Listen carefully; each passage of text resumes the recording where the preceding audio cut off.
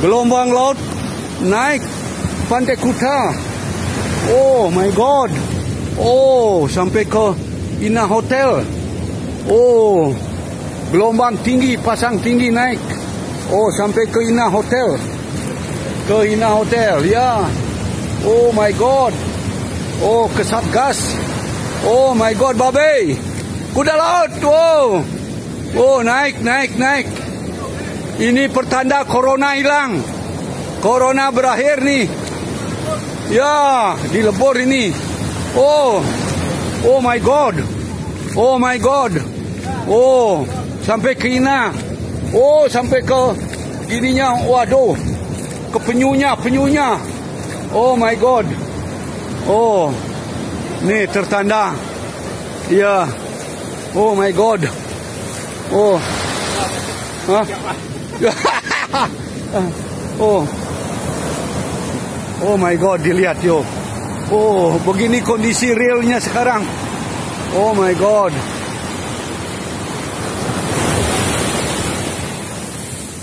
Oh. Oh.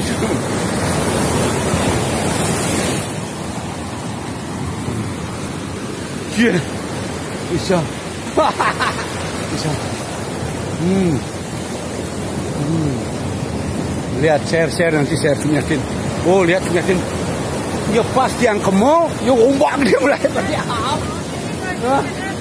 Waduh, oh lihat oh semuanya turun. Ya, oh my god. Ah, waduh, ya. Hmm. Oke, okay. ya. Hmm. Kengkene loh, tertanda uh, coronanya berakhir nih. Ya. Wah. Ya Pantai Kuta boy. Lihat tuh. Hmm. Ember. Ember ya. Oh, oh korban. Ini uh, Pak Kuda Laut korban uh, meja cadung. Wah. Wah.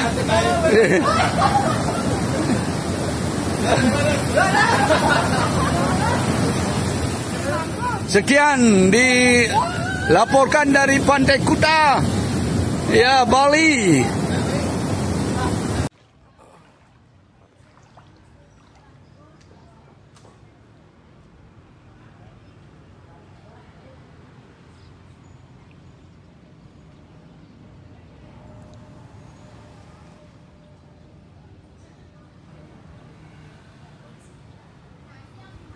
Selamat siang Tribuners.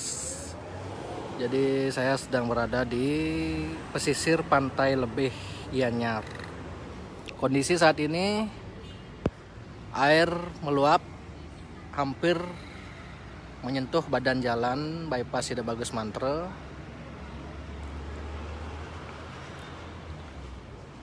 Jadi menurut eh, pemilik-pemilik uh, warung di sini air ini meluap setelah adanya gempa yang terjadi pukul 11 tadi di Buleleng.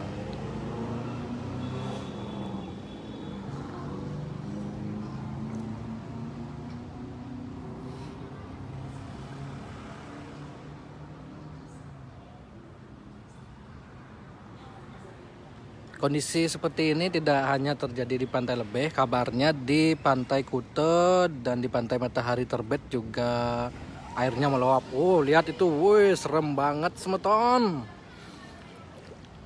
Hindari berpergian ke pantai dulu sementara ya.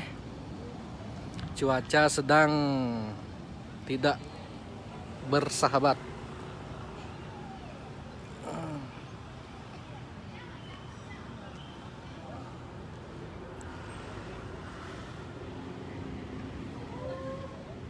Ketinggian air ini kira-kira ya 15 cm lah.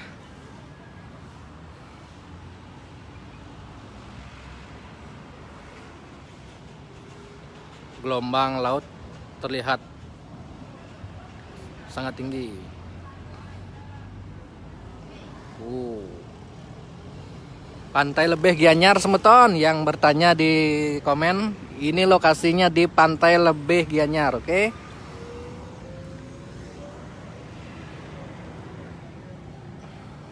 Jadi airnya sedang meluap Niki karena ombaknya terlalu besar jadi airnya meluap ke pinggir pesisir pantai. Pak dari jam berapa Pak meluap airnya Pak? Oh dari jam 10. Oh.